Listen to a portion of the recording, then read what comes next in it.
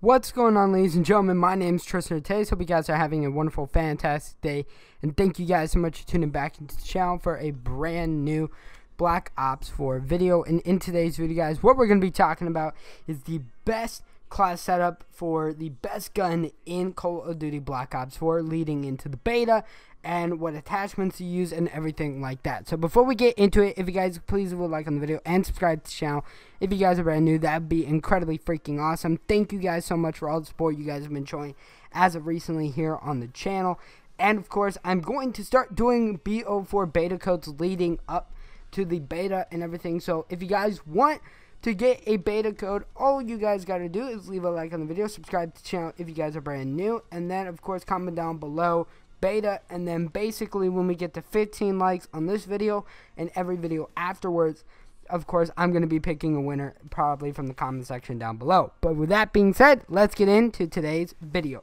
So the best gun from my experience playing Call of Duty Black Ops 4, as you guys know, I went to Anaheim and I was able to play it and everything was the Cordite. Now, this is a hybrid SMG AR, I believe. However, mainly it is a SMG.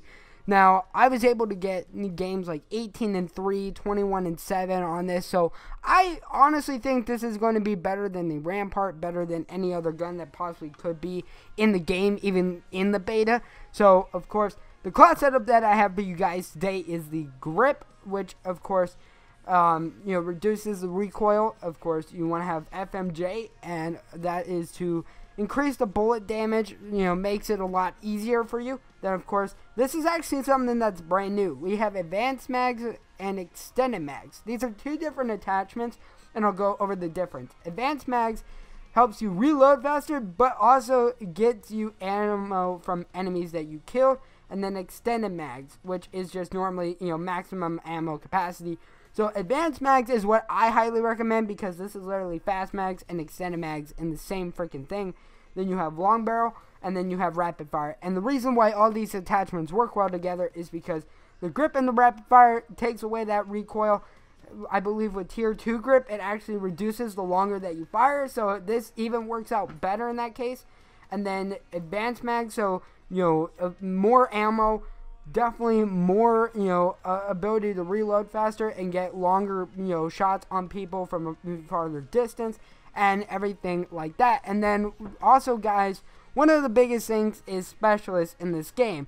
And this is not something where like you predetermine yours, you know, kind of how it was in Black Ops 3, is that you pick them in, I believe, the pre-game lobby and the one for this that I always recommend to people is the Recon because it has not only vision pulse so you can see where everybody is most of the time, but also it has like a little Recon dart so it pings everybody onto the minimap who's an enemy. And this is probably going to be the most overpowered thing in terms of anything for Call of Duty Black Ops 4. So let me know what you guys think down in the comment section below. I wanted to make a quick little video just to kind of give you guys a class of going into the beta. You know, of course, even though the beta is a couple weeks away, I wanted to give you guys something that you guys can kind of see does work, has experience, and is going to be a really solid class setup for you guys to rank up with even when the actual game comes out in October. So, thank you guys so much for watching the video. I hope you guys do enjoy the rest of your day. My name is Tristin Ortiz, and I'll see all of you guys in the next one.